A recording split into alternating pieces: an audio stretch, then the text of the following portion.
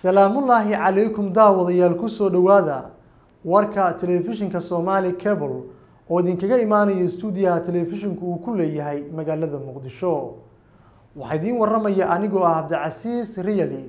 Qodobada aad ku daawan doontaan haddii ilaah laga helo waxaa qeyb ka noqonaya. Madaxweynaha dowladda soomaaliya maxamed cabdulaahi farmaajo ayaa maanta seexay sharciga hay'adda naafada qaranka oo labada gole ee baarlamaanka dhowaan uu meel mariyey. Madaxweyne ku-xigeenka somalilan ayaa furay.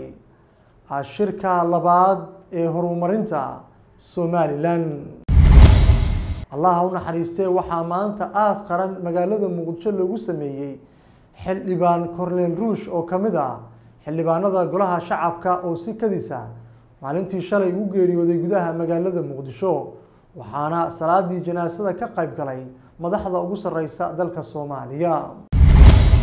Hay'adda madaxa bannaan ee u dooda xuquuqul aadanaha somalilan ayaa ka warbixiyey tacadiyadii somalilan ka dhacay sannadkii dhammaaday.